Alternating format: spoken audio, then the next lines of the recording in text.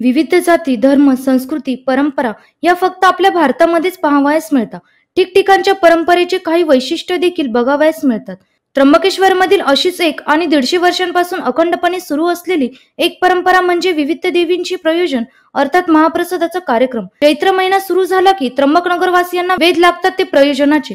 प्रभू श्रीराम जन्मोत्सवापासून या उत्सवाला सुरुवात होते. प्रत्येक प्रयोजन हे तिथीनुसार निश्चित असते.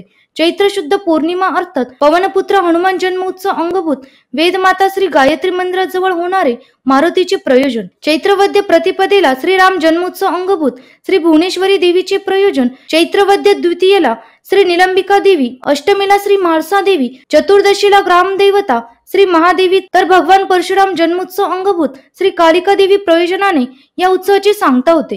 हे प्रयोजन दीडशेहून अधिक वर्षांपासून आस्थागायत सुरू आहे.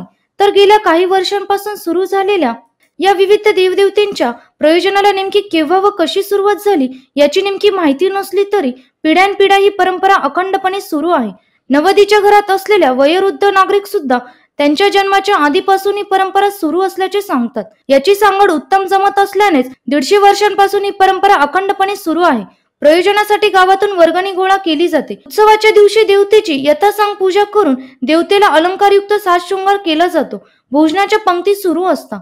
प्राणकाळी नील पर्वतावरील सप्तशती पाठ करून निलंबिका देवीची पूजा अर्चना करण्यात आली. प्रयोजन स्थळी अर्थात दक्षिणमुखी हनुमानाच्या मागे निलंबिका भक्त मंडळाच्या जागेत सप्तशती पाठ करून शांतीपाठ करण्यात आला.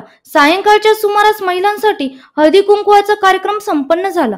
नंतर महाप्रसादाचा कार्यक्रम संपन्न झाला. आंबेरसाचे जेवण देण्यात आले. तीन हजारपेक्षा अधिक भाविकांनी महाप्रसादाचा लाभ घेतला.